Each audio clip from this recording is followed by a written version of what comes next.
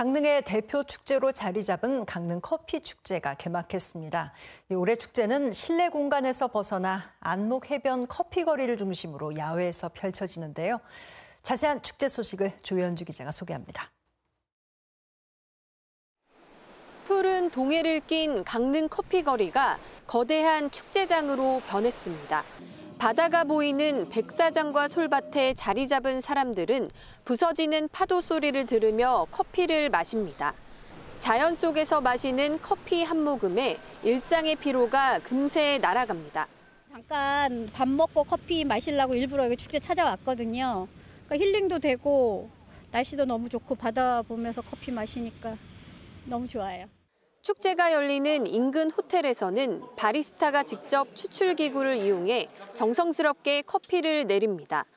커피를 맛보기 위해 긴 줄이 늘어설 만큼 인기입니다. 맛도 프랜차이즈에서 느끼는 것보다 좀 더 풍부하고 또 전문적으로 느낄 수 있어서 좋았던 것 같아요. 올해 강릉 커피 축제는 기존 실내 중심에서 바닷가인 강릉 커피거리 일대로 장소를 옮겼습니다. 커피 바다와 다시 만나다를 주제로 바리스타 100명이 참여하는 백인 백미 퍼포먼스, 선상 커피 체험, 버스킹 공연 등 3개 분야 21개 프로그램이 펼쳐집니다. 강만의 그런 자연환경과 특색을 좀 전국에 계신 분들한테 소개시켜드리고자 삶에 지친 분들이 오셔서 좀 힐링할 수 있게끔 그렇게 어, 공간을 구성했습니다.